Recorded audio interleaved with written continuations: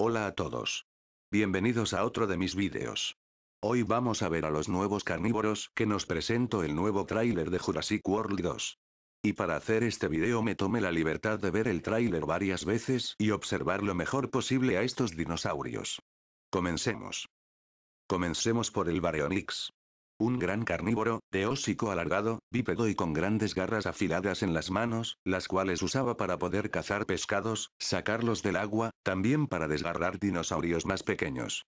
Como se ve en el tráiler, el Baryonyx entra a un tipo de búnker dispuesto a atacar a dos de los protagonistas. Lo que más me llamó la atención es que este dinosaurio tiene el mismo rugido que el Spinosaurus.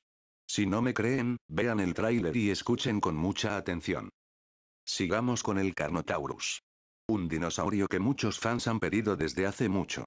Lástima que su debut, durara muy poco. Ya que nuestra querida Rexy se lo chingo, en un 2x3 y sin querer queriendo salvo a nuestros protagonistas de este dinosaurio.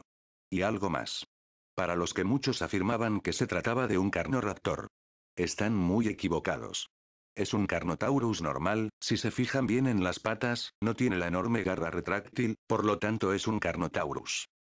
Suchomimus, otro dinosaurio de la familia del Spinosaurus y el Baryonyx. Se le puede ver corriendo junto a los demás dinosaurios que huyen por la explosión del volcán, muchos afirman que este está intentando cazar a un Gallimimus, pero después de ver bien esta pequeña escena, el Suchomimus estaba corriendo por su lado, hasta que un pedazo de roca lanzado por el volcán hace que un Gallimimus empuje bruscamente al Suchomimus, provocando que este carnívoro se enoje e intente atacar al Gallimimus. Fíjense bien en la escena y luego me platican.